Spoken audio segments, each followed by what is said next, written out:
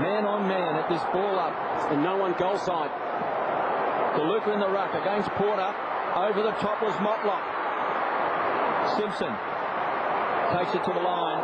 Out in the full, and it came off the back of the boot. Came off the back of the boot.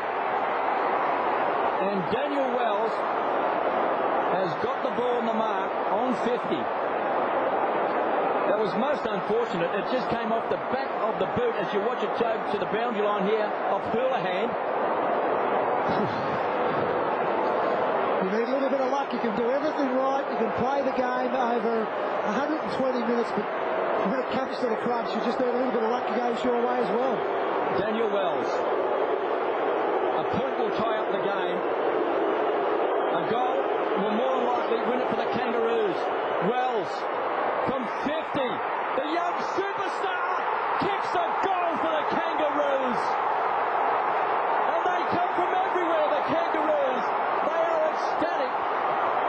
The young man in his second season of AFL football, the man with the big raps, has come good. He has stood up under all sorts of pressure. And that man on screen has just kicked the biggest goal of his career.